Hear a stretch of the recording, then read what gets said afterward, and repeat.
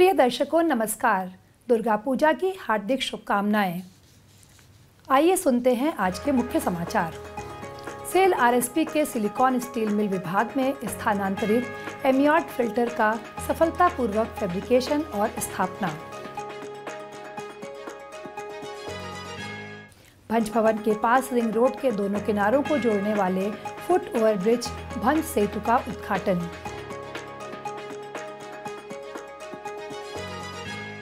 और सेल राउरकेला इस्पात संयंत्र में आगामी सतर्कता जागरूकता सप्ताह 2024 के उपलक्ष्य में प्रतियोगिताओं का आयोजन। अब समाचार विस्तार से।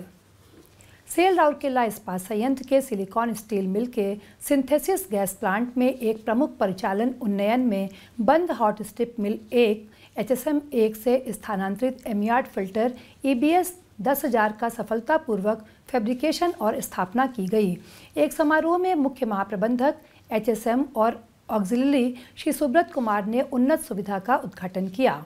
इस अवसर पर महाप्रबंधक प्रभारी, एसएसएम विभागाध्यक्ष श्री चित्रंजन मिश्र, महाप्रबंधक प्रभारी, एचएसएम एक श्री कल्याण समाजदार, महाप्रबंधक एसएसएम मैकेनिकल श्री देवजीत बनर्जी, महाप्रबंधक SSM electrical Shri MP Raja Rao विभाग के अन्य अधिकारी और कर्मचारी उपस्थित थे। यह फ़िल्टर संयंत्र की शीतलन प्रणाली, कूलिंग सिस्टम के लिए पानी की गुणवत्ता बनाए रखने में महत्वपूर्ण है, जो कंप्रेशर और संश्लेषण, गैस उत्पादन प्रक्रिया दोनों के लिए आवश्यक है, जहाँ फर्नेसों में वाष्पीकृत अमोनिया को तोड़ा जाता है। परिचालन दक्षता बनाए रखने और उपकरणों को ज़्यादा गर्म होने से बचाने के लिए प्रभावी शीतलन आवश्यक है। पुराना जल फिल्टरिंग प्रणाली अप्रभावी हो गया था, जिससे पानी में धूल और मिट्टी के कणों के कारण बार बार पाइप जाम हो जाते थे। इससे न केवल संचालन बाधित हुआ करता था, बल्कि रखरखाव लागत भी काफ़ी बढ़ने लगी थी। यह परियोजना श्री सी आर मिश्र के नेतृत्व में और मैकेनिकल टीम द्वारा निष्पादित की गई। सिंथेसिस गैस प्लांट में एमियार्ड फ़िल्टर की स्थापना पहले इस्तेमाल की जाने वाली पारंपरिक जल निष्पादन प्रणाली की तुलना में एक महत्वपूर्ण सुधार है। राउरकेला इस्पात शहर में भंज भवन के पास रिंग रोड पर इस्पात सेंटर मार्केट सेक्टर 19 और प्रदर्शनी मैदान सेक्टर 5 को जोड़ने वाला एक foot cross overbridge Bhanj Setu का निर्माण किया गया है। 9 अक्टूबर 2024 को आयोजित एक समारोह में कार्यपालक निदेशक, मानव संसाधन तथा अतिरिक्त प्रभार कार्यपालक निदेशक परियोजना श्री तरुण मिश्र ने कार्यपालक निदेशक, वित्त एवं लेखा श्री ए के बेहुरिया की उपस्थिति में पुल का उद्घाटन किया। इस अवसर पर मुख्य महाप्रबंधक, mechanical Shri R S Rajendran, मुख्य महाप्रबंधक प्रभारी टीए एवं C S R Shri P K Swain CMO प्रभारी M and H S doctor Jayant Acharya, मुख्य महाप्रबंधक टी एंड हॉर्टिकल्चर बी के जोजो और नगर इंजीनियरिंग नगर प्रशासन, सीएसआर, बागवानी के साथ साथ अन्य संयंत्र इकाइयों के अन्य वरिष्ठ अधिकारी तथा इस्पात सेंट्रल मार्केट कमेटी के प्रतिनिधि उपस्थित थे।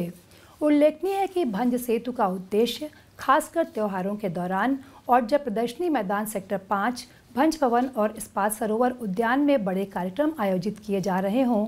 उस वक्त सड़क सुरक्षा और यातायात प्रवाह को बेहतर बनाना है।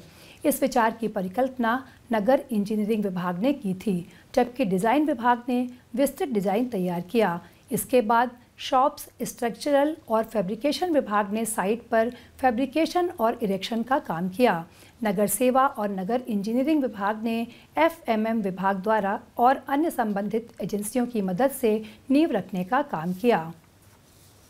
सेल राउरकेला इस्पात संयंत्र आरएसपी का सतर्कता विभाग आगामी सतर्कता जागरूकता सप्ताह 2024 के उपलक्ष्य में स्कूल और कॉलेज के छात्रों के लिए प्रतियोगिताओं की एक श्रृंखला आयोजित कर रहा है।